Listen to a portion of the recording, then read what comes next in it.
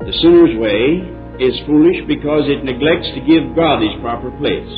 Now, any way of life, any uh, attitude, any political philosophy, any moral philosophy or speculative philosophy, any kind of thinking that anybody does in any sphere of human thought or life, any standard of morals adopted or followed by any people, however loosely, that does not give God his proper place is declared by the Lord God himself to be foolish and empty.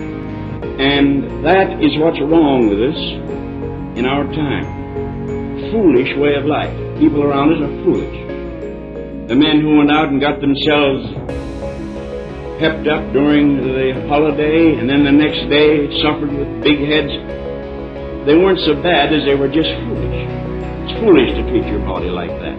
It's foolish.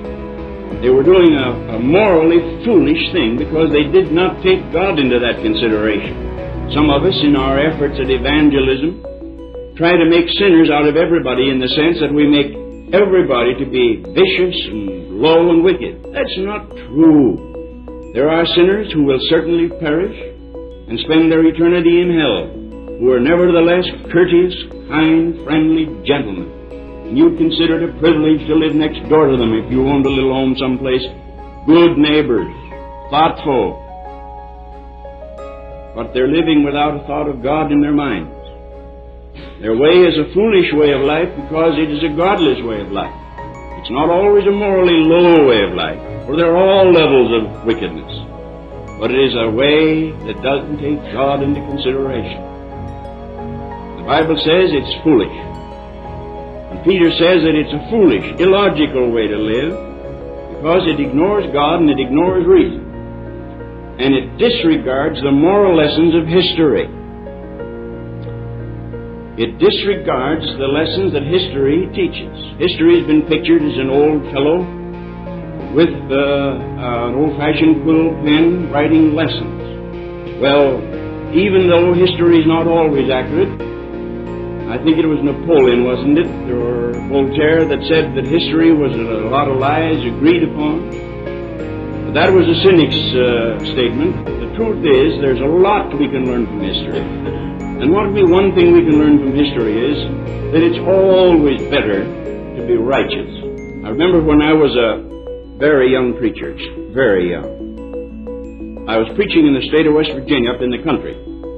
And uh, I hate tobacco now as much as I did then, but I have sense enough to know that it's only a pimple on the body of morality and is not itself basic, so I don't preach against tobacco, though I hate it. But those days I did. That is, I attacked anything I thought it didn't look good, and uh, tobacco was one. And I used to really tell them that they were dirty if they used it and couldn't be Christians. And do you know, do you know the response to that kind of preaching? It was this. White-faced anger. Do you mean to tell me that my old father who smoked and chewed until he died and my grandmother who was a Christian and chewed smoked a clay pipe till she died, you mean to tell me that they perished? They were sanctifying the ways of their parents and they were on the cool end of a hot stick, uh, that is smoking, because it, they, I suppose they liked the taste of it, and because it was received by tradition from their fathers. It was sanctified by generation after generation of incense burners. And they didn't want me to say a word about it. Not for their sakes, but because it seemed to be reflecting on the tradition of their fathers.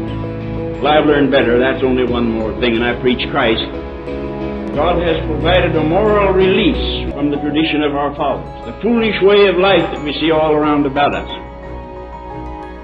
And it's been done by an act of God in redemption, involving the payment of a ransom for its moral. Not a physical captivity, though it has physical implications for sinners, but it is a, has its legal and moral aspects. Well, the ransom price had to be moral ransom price. It had to be the blood of the Holy One, holy enough for God to accept. So that moral price was paid. It says it was not silver nor gold. I were a slave in a market somewhere in Arabia or in the old South. Now we're worth $200 or $500 depending upon my age and size and ability. Someone might come with a pocket full of gold and buy me and then set me free. Bought free with money, silver and gold. But when your bondage is not physical but moral, you can't buy off moral slaves with money.